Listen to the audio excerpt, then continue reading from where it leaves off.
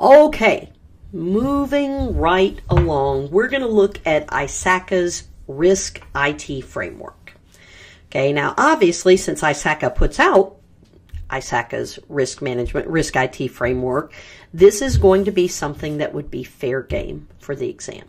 Okay, so ultimately, what the framework addresses is that we need a means of evaluating risks. We need a means of identifying risks that are current in the near future, long term risks, and we need to provide a structure for how to effectively respond to risk in a manner that's efficient and effective, has cost benefit. We need consistency. Basically, we have a lot of needs in relation to risk.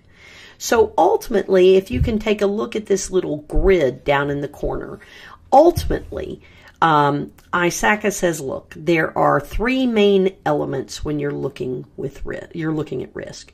First of all, you have risk governance. Then you have risk evaluation. Then you have risk response. So what we ultimately want to be is we want to move to the right. So with risk governance, the first thing that we have to do is make sure we establish and maintain a common risk view. Didn't we say that's one of those elements that risk governance is responsible for, right? The governing entities need to make sure that we understand the risk context and the risk view of our organization. Then it's the responsibility of governance to incorporate that throughout the organization Enterprise Risk Management is what ERM stands for. And then as we move on to RG3, Risk Governance 3, ultimately what we're looking to do is to make risk aware business decisions. Okay. All right, so for risk evaluation, we start by collecting data, we analyze risk, and then we maintain our risk profile. When we talk about analyzing risk, we're looking at determining a value for risk. And then we have to respond to risk. So we articulate the risk, R2, we manage the risk, and then we're able to react to events as they come up, new risks perhaps. So that's part of ISACA's risk IT framework. And their goal here is to provide that structure to differentiate between governance, evaluation, and response, and ultimately provide us with means to move through to our ultimate goals of being um, able to respond quickly to risk events and to mitigate them appropriately. Okay, now ISACA also has a risk management life cycle. So when we look at the risk management life cycle, the idea, and you can see these arrows kind of revolving, and the idea there is risk management's never done right? If I were to say, hey, when are you done with dealing with risks? Your answer should be never, ever, ever. Risks are one of those constant things in life. So when we're looking to conduct risk management within an organization, we start with risk identification, we move to risk assessment, then we mitigate our risks, and then we continually monitor and control risks. So if we look at these uh, across the, the, you know, let me just give you a quick definition for each of these. Um, with risk identification, we identify assets, threats, and vulnerabilities.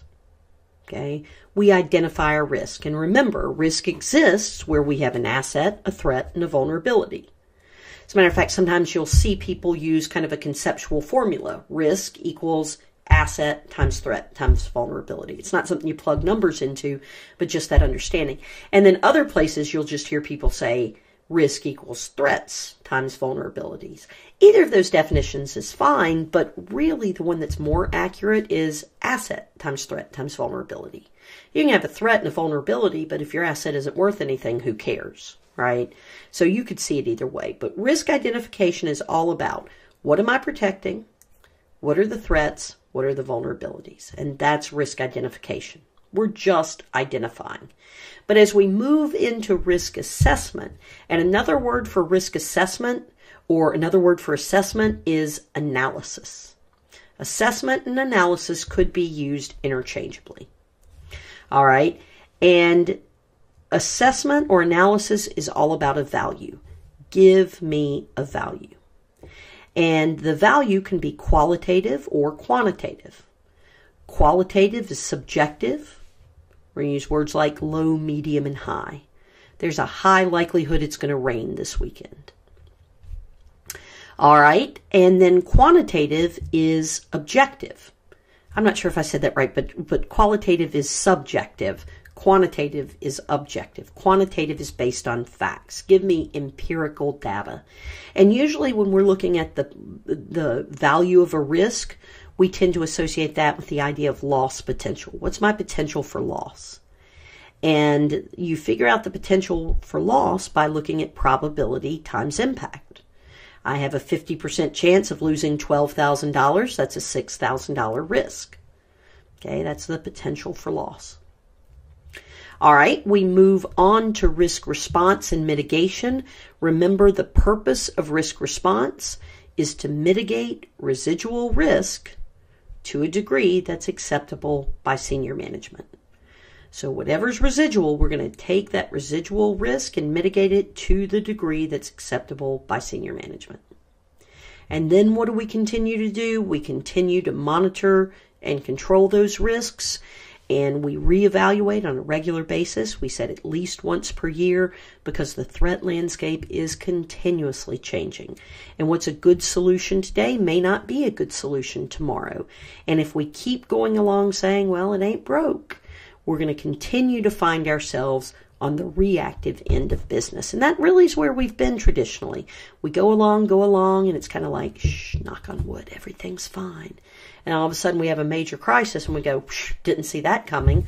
Well, we didn't see it coming because we weren't looking, right? It's very difficult to survive in the world today without just being overwhelmed by the idea that, yeah, there are a lot of threats there are a lot of entities out there. You know, you look at uh, the mafia and organized crime, you know, very heavily involved in some of these identity breaches and some of the cyber crime that we're seeing. Uh, gangs coming off the streets per se because it's a lot less risky to sit behind a computer and a lot more lucrative. You know, typical criminals. We see state actors. We see disgruntled employees. We see corporate espionage. You can't exist today and bury your head in the sand. We have to understand that cyber threat is real. It can and will impact us if we don't take an active risk management strategy, if we don't take an active approach. All right. So that risk management life cycle is what we're going to base this course on. All right. Now, risks in projects. Uh, if any of you have managed projects before, been a project manager, or worked around project management, that's full of risk, of course. Um, with projects, you know, we have this finite time bound set of activities that's designed towards producing something unique. So we have all sorts of different risks associated with it. Now, the CRISC exam takes the risk management processes from PMI's framework. So basically, if you've studied project management per PMI, like if you've gotten the CAPM certification, Certified Associated Project Management, or the Project Management Professional certification, you will have seen this framework of project management. So it's a little bit of a shift in gears, but I think this is something that's testable. And even if it weren't, many of us in our career have found ourselves managing projects in one aspect or another. So it's certainly relevant to look at risks in relation to projects.